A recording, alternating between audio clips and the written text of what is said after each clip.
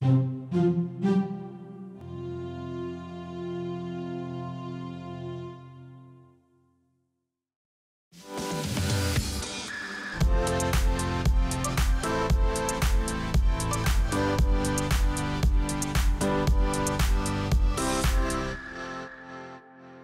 Hey, everybody, I'm Tyler. And hey, I'm Brian.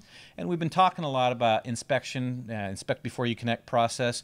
And one of the biggest things that we oftentimes see people make a mistake here is they think of inspection and cleaning as a troubleshooting thing. They just mm-hmm. ran an OTDR trace, found a problem, and they say, oh, it's a dirty connector over there. And then they go to try to address it, mm-hmm. and they go to clean it, and the dirt is not coming off at that point. It's because they didn't do it proactively. Right. Now they're having trouble.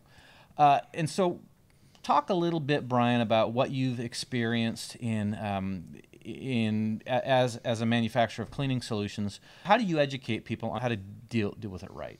Well, I mean, Tyler, the biggest thing is when you're dealing with the contamination, you almost have to think of it in two ways, right? You have residue based contamination, you have dust based contamination.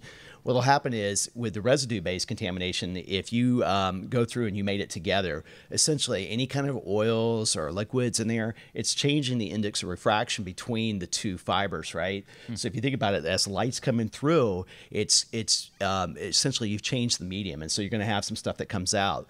Um, sometimes, typically, what you'll see from an inspection standpoint will be like what the coffee ring stains, right? Yeah, yeah, yeah. And then the other one that you'll see is also uh, dust-based contamination. So when you start having dust-based contamination, a couple things can happen. Sometimes, depending on the placement of the dust, what you may have is a signal actually being kind of absorbed into the material. Sometimes too, it'll cause uh, kind of almost a back reflection, so you'll get some back scatter the signal back mm-hmm. into the to the incoming fiber, which will cause problems. Uh, and then also, depending on the size of the dust particle, sometimes too, if it's large enough, and depending on what it is, you could actually have problems with it mating correctly, right? So you almost have like a slight air, air gap, right? Yeah, exactly. But Tyler, what do you see like when people go through if they're not uh, from an inspection standpoint with dust? I mean, what happens to the interface if you start mating it and, and kind of go back react retroactively and, and try to clean it? Well, you find it doesn't come off. Mm-hmm. You know, we, we find these you know, somebody somebody runs the trace, they they see a problem, they go to clean it, and then the, the, the, it just doesn't it doesn't come off. It's Im, it's embedded in there, and now they've got a bigger problem on their hands. They're gonna have to change that connector, get out the fusion splicer, and shut everything down mm-hmm. for a day or so. Um, what we're trying to get people to understand is, no matter what the type of contamination is, if you do it proactively, yes, none of it's a problem.